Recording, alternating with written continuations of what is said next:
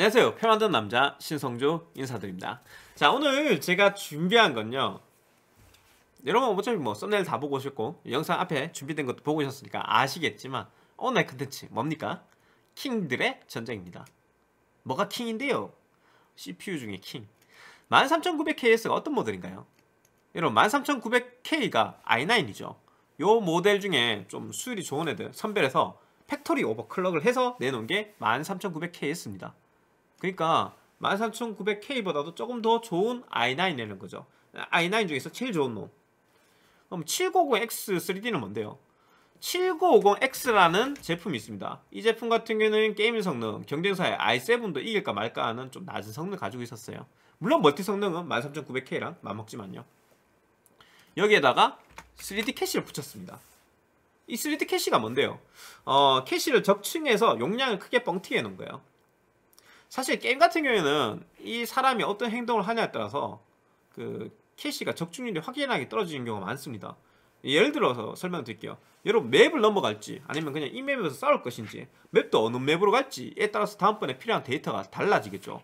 캐시는 CPU가 필요한 데이터를 가져다 주고 다시 연산한 걸 받고 이러한 통로 역할 비슷한 건데요. 버퍼 역할을 하는.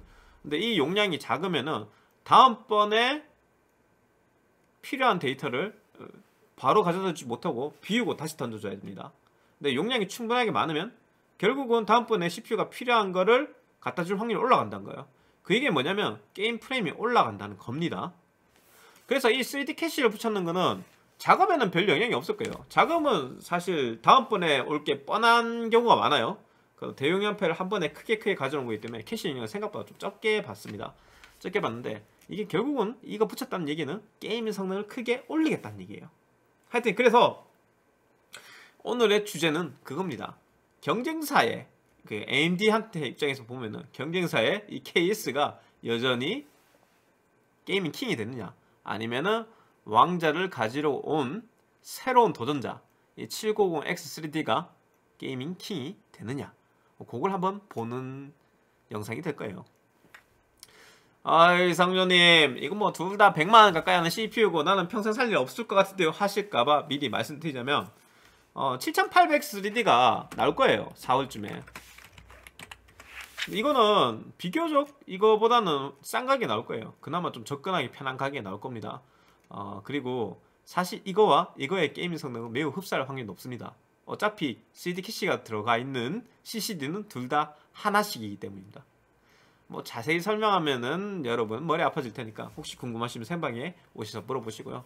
여튼 당장 여러분 이거 못 사더라도 이거의 성능을 가늠해 볼 수 있는 영상이 될 수 있기 때문에 구독과 좋아요 한번 눌러주시고 영상 시작하겠습니다.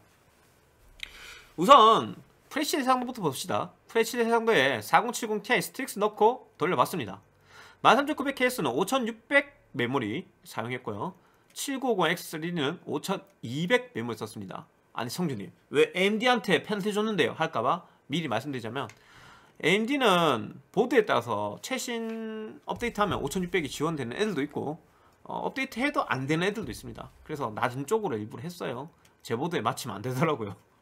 여러분도 일반적으로 그냥 사서 막 쓰면은 요 세팅 고대 될 거기 때문에 가장 일반적인 세팅이라 생각하시고 어, AMD가 약간 그 메모리 클럭이 낮지만 어, 그거 이해하고 보시는 게 맞을 것 같아요. 원래 세팅이 그러니까. 아 참. 롤에 대해 할 얘기가 있는데 롤은 지금 좀 버그가 있습니다. 그래서 롤은 대충 보시는 게 좋을 것 같아요. 이게 무슨 버그냐면은 롤을 게임으로 인식을 잘 안 해요. 엔비디아 그 그래픽 드라이버가. 그래서 프레, 그 프레임이 클럭이 낮게 터져가지고 좀 낮게 나오는 경향이 있습니다. 그나마 인텔 CPU 쓸 때는 클럭이 좀 높게 나오는데 AMD CPU 쓸 때는 일부러 그랬나 싶을 정도로 너무 클럭이 많이 내려가요. 한번 보여드릴게요. 이게 AMD CPU 썼을 텐데 지금 700에서 600, 막 뒤에 보면 400대까지 내려가거든요. 그럼 이 버그 해결할 방법 없어요? 있긴 있습니다. 롤을 그 게임으로 지정하고 그리고 그래픽 카드를 고성능 모드로 바꿔놓으면 자동으로 클럭이 올라가서 평균 프레임 훨씬 높게 나옵니다. 최소 프레임하고. 근데 그렇게 하자니 제 모토가 뭡니까? 손 안 대고 하기로 했잖아요. 방금 전에도 바이오스도 손 안 대고 오버클럭도 안 하고 어? 뭐 아무것도 손 안 대고 그냥 순수하게 그냥 일반인이 아무것도 모르고 쓴다고 하는 기준으로 얘기하기로 했는데 그 버그 그런 거 있다고 내가 수정하자니 좀 양심에 걸려서 롤 버그인데 불구하고 그냥 넣어놨어요. 그러니까 여러분은 이거 대충 여러분 입장에서 롤을 넣냐 빼냐 양심적으로 선택하시면 될 것 같아요. 여튼 롤은 인텔이 이겼어요. 롤은 인텔이 이겼고 로스트아크 같은 경우에는 원래 5800 3D가 잘 나왔었죠. 똑같은 3D 모델인 7950X 3D가 못 나올 리가 있나? 아주 잘 나옵니다. 14% 가까이 평균 프레임 높게 나옵니다. 최소도 차이 많이 나고요. 배그도 요번에 좀 특이했는데 뭐가 특이한데 성인님? 어떤 어디 구석에 가서 farming하다가 틱 맞고 죽어가지고 프레임 잘 나온 거 아니에요? 할까봐 요번에 배그 파일 애청자 거 빌려서 했어요. 진짜 교전 빡세게 하는 구간요. 한번 보여드릴게요. 빈말이 아니라 영상이 아마 동일하면 여러분 확인하실 수 있을 텐데 자 여기 배그거든요. 보죠. phase 4인 거 아시죠? phase 4. 자기장 게임 많이 좁혀졌어요. 그리고 여기 맵에 사람 얼마나 많습니까? 사람 그냥 밀집 구간입니다. 심지어 옆, 위에 이거 파란 거 다 연막이거든요. 연막 팡팡 터진 거 볼 수 있어요. 연막 연막 팡팡 터지는 상황입니다. 자, 이 상황에서 지금 프레임 방어율 보세요. 화면 획획 돌리고 교전도 합니다. 총막 쏘죠. 근데 프레임 방어율 보세요. 아, 이 앞에서부터 찍고, 쭉 찍고 온 게 아니라는 걸 여러분 알 수 있는 게 1% 로우가 팍팍 움직일 거거든요? 맞죠? 이렇게 팍팍 움직이죠? 뭐다? 이 교전 구간부터 내가 찍었다는 거예요. farming 구간 하나도 안 들어가는 순수 교전 구간입니다. 근데도 뭐가 이겼어요? 7950X3D가 이겼습니다. 아니 좀 놀랐어요 솔직히 저도 너 보고 사실 이렇게 영상을 찍으면서 야 이거 뭐 AMD 담당자가 내 거 보면 욕하겠는데 farming 구간 하나도 안 넣고 뭐 비행기 날아가면서 프레임 뻥튀기돼 있는 구간 이것도 하나도 안 넣고 그냥 진짜 교전 구간만 넣었는데 아 이러면 이거 인텔 이길 것 같은데 하고 영상을 찍었는데 AMD가 이겼더라고요 어? 했어요 여튼 아 이거 좀 놀라웠습니다 배그도 이겼고 보더랜드 같은 고사양 게임 여기서도 이겼습니다 10몇 프로 메트로 엑소더스는 졌는데 최소 프레임은 또 오히려 방어를 더 잘합니다. 이 졌다 하더라도 4%밖에 안 돼요. 앞에 10몇 프로, 36%, 14%인데 이 4% 가니까 별거 아닌 것처럼 보이죠. 어, 포르자에서는 6% 이기고요. 당연히 최소 프레임 방어도 좀 더 좋습니다. 샤구지 토탈어 여기서는 뭐 전통적으로 인텔이 좀 잘 나오긴 했죠. 근데 3%밖에 차이 안 나. 섀도우 툰레이더 요거는 AMD가 좀 더 잘 나오는 경우가 많았습니다. 11% 이겼어요. 디비전도 보통 인텔이 좀 잘 나왔는데 4% 차이. 사폰도 인텔이 잘 나왔는데 1%. 그러니까 보시면은 인텔이 이기는 거는 뭐 별로 차이가 안 나. 이런 것들. 인텔이 이기는 거는 진짜 프레임 차이가 얼마 안 나고 AMD가 이기는 거는 그냥 막 10단위가 차이 납니다. 10단위가. 차이가 많이 나죠, 이렇게. 그래서 7종 게임 평균, 고사양 게임만 봤는 7종 게임 평균 2%로 7950X3D가 이기고 9종 게임, 인기 게임 두 종 놓고 아주 저사양인 롤 빼고 버그도 터지는 거 어, 그렇게 봤을 때 7% 이깁니다. 근데 버그 터진 롤을 집어넣고 해도 5% 이깁니다. 그래서 790XLD가 FHD에서 확실히 이겼습니다. 이렇게 얘기하면은 아니 뭐 FHD가 무슨 의미가 있다고요. 저런 비싼 CPU 가지고 다들 4K 하겠지라고 얘기하실까봐 짧게 몇 가지 얘기하자면 지금 144 모니터, 160 모니터, 240 모니터를 넘어서 300짜리 모니터 나오고 있습니다. 주사율이. 그래서 생각보다 저해상도 고주사율 모니터 쓰시는 분이 늘어나고 있습니다. 저희 이제 주문 넣으신 분도 보면은 기본이 144 적고 있고 뭐 240이나 165 적는 사람도 엄청 많습니다. 그다 보니 이 값이 의미가 있는 거죠. 좋은 그래픽 카드 써서 FHD나 QHD 쓰시는 분도 분명히 있거든요. 특히 이 주사율이 올라가면 올라갈수록 CPU에 영향을 크게 받기 때문에 어느 CPU가 좋은 CPU인지 판가름이 나는 겁니다. 이거는 분명히 AMD CPU가 인텔의 KS보다 좀 더 낫다, 좋다 게임에서 그걸 확실하게 볼 수 있는 겁니다. 근데 이렇게 얘기하니까 인텔 유저들이 많이 얘기하는 실드 중에 하나인데 아니 4K 가면은 인텔이 이기는데요. 그게 당연한 게 그 프레임이 별로 안 나오기 때문에 CPU 영향을 안 받거든요. CPU 영향을 거의 안 받으면은 솔직히 깡클럭 좀 높은 놈이 프레임이 잘 나와요. 그래서 인텔이 그 대체적으로 이기는 겁니다. 5000번 때는 그 AMD가 이길 때도 있었는데 7,000번 대 넘어오기 전에는 한동안 이제 깡클릭이 워낙 격차가 좀 있어가지고 인텔 이기 힘들었고 AMD가 이번에 7,000번 대 오면서 4K에도 조금 변화가 있습니다. 그건 이따 설명하기로 하고 뭐 어쨌든 원래 CPU 성능을 제대로 보려면 좀 고주사율에서 돌리신 게그 기본적인 그전 세계에서 공통으로 쓰는 테스트 툴입니다. 여튼 프레시드에서는 790X 3D가 이겼다 보시면 될 것 같고요. 여기서 또 놀라운 게 전력 소비량이 차이가 좀 많이 납니다. 사펑 돌리면서 봤는데 한 4, 50W 정도 차이 나더라고요. 꾸준히 뭐 50에서 70W밖에 안 쓰는 AMD 그리고 인텔의 KS는 아무래도 좀 과도하게 클럭가 땡겨 올려서 그런지 몰라도 전력 소비량이 100대에서 놀더라고요. 그래서 둘이 전선 차이도 꽤 큽니다. 온도 차이도 좀 나고요. 10도 이상 차이 나는 경우가 엄청 많았어요. 같은 X73 썼을 때. 여튼 여기에서 AMD의 승을 외치고 밑에 거 넘어갈게요. 이번엔 QHD입니다. 아, 까 얘기하신 분들 뭐 4K나 QHD, QHD 정도로 이제 고해상도로 넘어가기 시작하면은 인텔이 유리하다. 그 솔직히 저도 어느 정도 인지하고 있는 부분에서 뺄 수는 없어요. 당연히 왜 여러분 상황에 맞게 계산을 해야 될 거 아니에요. 뭐 FHD 이겼으니까 4K 이기는 거 꼭 그렇지 않거든요. 그래서 QHD를 넣어봤는데 QHD 남은 4070 Ti를 많이 하시겠죠? 요거 놓고 딱 재보니까 아, 롤 같은 경우는 이제 QCD쯤 되니까 이제 게임이라고 인지를 했는지 클락이 조금 더 터져서 오히려 여기보다 어, 최소 프레임 방어가 올라가긴 했습니다. 3D 모델이. 근데 뭐 여전히 인텔이 평균 프레임 잘 나오긴 해요. 근데 이게 아 사실 불편한 정도 프레임이 아니라서 크게 의미 있는 값은 아닌데 어쨌든 이긴 건 이긴 거니까 뺄 수는 없겠죠. 롤 늘렀던 게임이고요. 넣고 계산하겠습니다. 어, 그 다음 로스타크. 아, 여기서는 여전히 AMD가 이깁니다. 배그도 AMD가 이깁니다. 최소 프레임 여전히 처지지 않는다는 거 주의 깊게 보시면 될 것 같고요. 보더랜드 같은 경우에는 이제 거의 비등하게 돼버렸어요.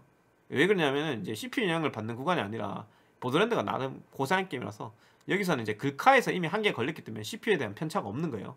이거 여러 번 재면 그냥 어쨌든 치러갑니다. 그냥 그 둘이 똑같이 났다고 하도 될 거예요. 최소 프레임은 평균 프레임은. 메트로 SX 같은 경우에는 늘 인텔이 좀 잘 나오는 경향이 많았었는데 이 위에서만 특이하게 AMD가 이겼던 거고 여기서는 여전히 인텔이 이깁니다. 최소 프레임 조금 나고 평균 프레임도 좀 차이 납니다. 뭐 한 5% 차이 나네요.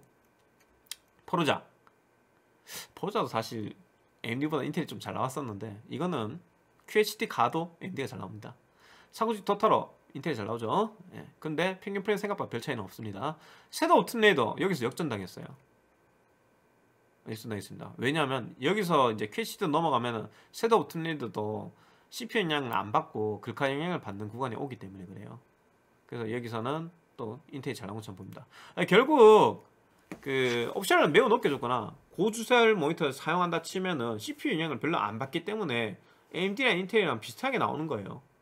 이게 진짜 그런지 평균 프레임 보자면 이 7종 게임 평균 프레임은 인텔이 2% 정도 잘 나왔습니다. 2%잘 잘 나왔어요. 특히 디비전에서 차이가 많이 나가지고 2%, 정도 잘 나오는 걸 볼 수 있었습니다. 근데 구종 게임으로 보자면 로아나 배틀그라운드가 또 AMD가 워낙 잘 나가지고 3% 이깁니다. 어, 십종 게임 평균을 보면은 롤 집어넣고 봐도 어 그래도 MD가 이겼어요. 내가 뭐 페널티 있든 없든 일단 롤 자꾸 넣어주고 계산했으니까 뭐 로스타크만 100은 넣는 거 빼라 그러면 안 돼요. 로스타크는 이 프레임하고 이 프레임하고 분명히 여러분 체감이 될 건데 좀 더 부드럽다고 최소 프레임 때문에 아, 빼면 안 되고 그냥 평등하게 10개 다 넣고 계산하자면 결과적으로 봤을 때는 QHD가 사도 누가 이겼다? 790XD가 이긴 겁니다. 그럼 진짜 중요한 건 4K겠죠. 왜? 아니 이런 고가의 CPU 사시는 분들이 4090, 43 얼마 많겠어요. 적어도 4080 사고 어, 그분들 대부분 다 4K로 가겠죠. 자, 그 경우로 봤을 때는 로스타크 아 잠깐 이거 왜 두 개인데요? 할까봐 위에 1이라 적혀있는 거는요 첫 번째 CCD 클럭이 높고 CD 캐시가 없는 거. 그걸 우선순위로 주고 했었어요. 2로 적혀있는 거는 그 3D 캐시가 들어가 있는 거를 우선순위로 CCD를 어, 그렇게 해서 잰 겁니다. 어, 그래서 1번으로 갔을 때는 깡클이 높다 보니까 조금 더 분명히 롤 프레임 올라갔죠 나머지 어떻게 됩니까? 밑에 거에 비해서 다 쳐지죠 그래서 3D 캐시를 우선으로 잡아놓거나 뭐 기본 설정이 그래 되어 있는 경우가 많기 때문에 여러분 안 잡아 잡혀 있는 경우가 많습니다. 안 잡혀 있으면은 여러분 잡으셔도 되고. 하여튼 이걸로 보시는 게 맞을 거예요. 이건 그냥 시험 삼아 넣어놓은 거예요. 일부러 CCD 그 3D 캐시 들어가 있는 거를 후순위로 돌려가지고 그런 프레임 얼마 떨어지나 보려고 해놓은 겁니다. 아, 무시하셔도 되고. 자 그렇게 재면은 어떻습니까? 일단 1% 프레임. 어, 뭐 비등비등합니다. 이거 가지고 차이 난다고 하기 좀 어렵죠. 뭐1% 프레임이 2 차이 나는데. 아 그리고 이걸 볼 수 있어요. 0%, 1%, 마이너스 1%. 10점 게임은 마이너스 1%, 9점 게임은 1%, 7점 게임은 0%. 말 그대로 13900K와 7900X3D 제품은 비등비등하게 납니다. 아주 그냥 프레임이 거의 똑같이 나와요. 그래서 4K로 가도 KS랑 부빈다는 얘기예요. 어, QHD나 FHD에서는 이기고. 그러니까 여러분이 고주사를 모니터 쓰면은 그냥 AMD가 이겨. 그리고 고해상도 모니터 쓰면은 KS랑 AMD 790 얘랑 맞먹어. 결과적으로 봤을 때는 790X의 승리로 봐도 되겠죠. 어, 특히 이거 좀 놀라운 게 있는데 아마 생방에 들어오면 내가 보여드릴 수 있을 텐데 요번에 돌리면서 Cinebench를 돌렸거든요. Cinebench 때 아, AMD 이거 뭐 CCD 하나는 그 캐시 들어가고 하나는 안 들어갔으니까 작업할 때 뭐 인텔처럼 인텔 P코, E코 뭐 어느 거 설정되냐에 따라서 막 작업 성능 달라지고 그런데 그런 문제 생기는 거 아니냐? 이렇게 얘기하던데 어 의미 없는 소리죠. 내가 해봤는데 누, 어느 걸 우선으로 해놓든 거의 오차 범위랑 똑같이 나옴. 보이죠? 근데다가 전력 소비량이 시네미스 돌렸을 때 128밖에 안 먹어요. 128이면 13,500이랑 비슷한 거 아시죠? 13,500급으로 먹고 13,900급에 작업 성능을 보여주고 게임의 성능이 13900KS급만큼 나온다는 얘기예요. 이게 전력 소비가 이래 낮다 보니까 아니 이거 그럼 팔라딘으로 되는 거 아니야 싶어서 제가 돌려봤어요. 이거 지금 팔라딘 꽂은 거거든요. 팔라딘은 Cinebench 25분 동안 돌리고 있는데 이게 30분 preset 걸어놓고 5분 남았다는 얘기거든요. 근데 77도야. 진짜 온도 높게 나면 피크치가 81도고 clock이 4.9가 꾸준히 유지가 되더라고요. CCD one 기준으로. 당연한 게 CPU 파워가 110 정도밖에 안 쓰는데 팔라딘은 커버가 안 될 리가 없지. 이거 생방에 들어오면 보여드릴게요. 그러니까 28일날 생방에 한번 들어오십시오. 하여튼 그래서 아니 보드도 뭐 그리 비싼 거 안 써도 되고 보드 당연히 13900KS보다 싼거 써도 됩니다. 쿨러 싼 거 써도 되고 쿨러 싼 거 쓰면은 케이스도 비교적 비싼 거안 써도 되거든요. 아니 이리저리 고민 때려보니까 아니 처음부터 이래 내놨으면 욕 안 먹었을 거 아니야. 왜, 왜 그러셨습니까 AMD?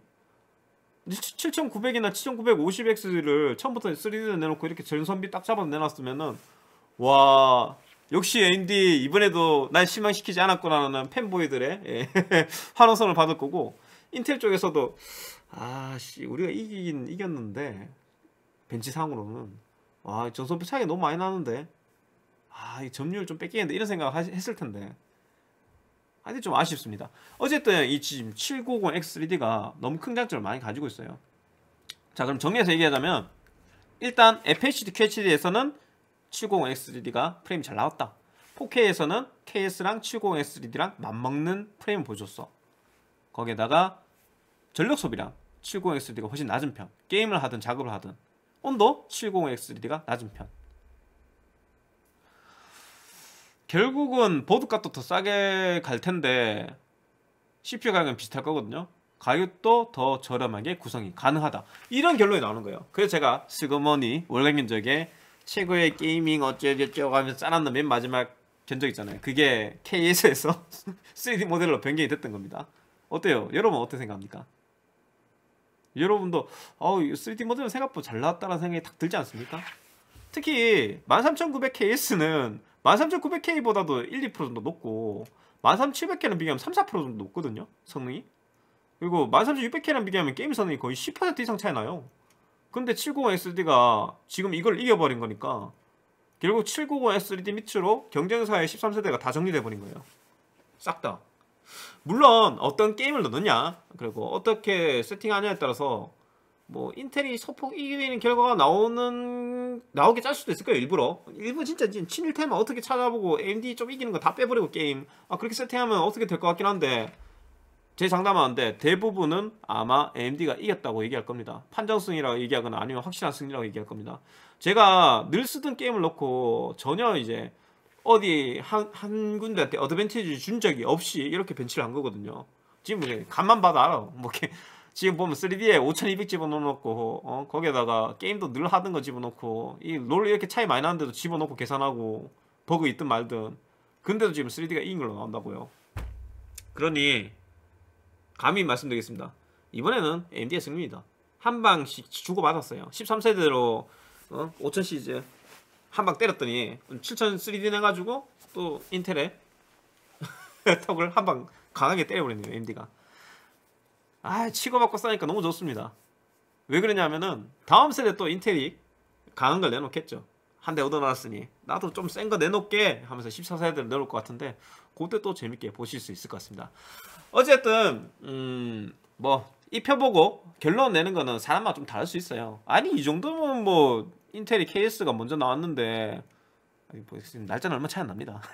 한 달 차이 나는데 이 정도면 KS 13세대 선빵했네 괜찮다 라고 하신 분도 있을 거고 어, 13세대 이미 쓰고 있으신 분들은 굳이 넘어올 이유가 없어요. 13700 쓰든 13900 쓰든 13900 케이스 쓰든 굳이 이 790의 3D로 넘어가는 건 업그레이드에 가깝다 생각해요. 넘을 필요 없고 하지만 이제 새로 구매하려고 고민하시는 분은 분명히 더 저소음, 더 저전력, 더 싸게 구성할 수 있는 790X3D가 유리할 것으로 생각이 됩니다.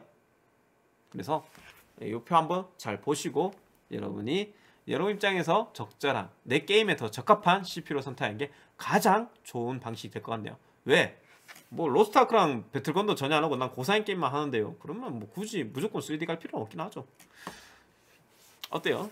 아주 편파 판정 안 하고 최대한 중립적으로 얘기해 준 게 아닌가 싶은데 마음에 드셨다면 구독과 좋아요 눌러 주시고요. 다음번에 또 재밌는 리뷰로 만나 뵙겠습니다. 아, 요번에 CPU 종류가 너무 적어가지고 여러분 아쉽다는 얘기를 좀 할 거예요. 그 overclock도 왜 해서 비교 안 하냐 이런 얘기 할 텐데 제가 7800X3D 나오면은 그때는 좀 더 다양한 CPU로 overclock 해서 여러분한테 비교해 드리겠습니다. 요번에 overclock 빼놓은 이유가 지금 바이오스가 아직 그 정식 바이오스가 거의 없어요. 베타 제가 테스트할 때는 베타 바이오스라서 좀 불안정하더라고요. 그게 뭐 실제로 정식 출시될 때까지 불안정하다는 얘기는 아니고 아무래도 CPU를 좀 일찍 받다 보니까 그냥 바이오스 자체가 그 많은 설정을 할 수가 없다라는 얘기 정도 생각하면 될까요? 그래서 overclock을 지금 하는 게 크게 의미가 없는 것 같습니다. 인텔도 마찬가지였어요. 인텔도 막 13세대 나왔을 때 overclock 램 over 야, 이뭐 7천 넘으면 잘 났다 그랬잖아요. 지금 어때요? 8천도 넘어가고 그러죠. 좀 시간이 지나서 안정화되고 난 뒤에 어, 그런 overclock 했는 리뷰도 같이 올려드릴 테니 그때 재밌게 봐주시면 될 것 같습니다. 오늘 영상 여기까지고요. 그러면 다음번에 만나 뵙겠습니다. 여러분, 바이바이.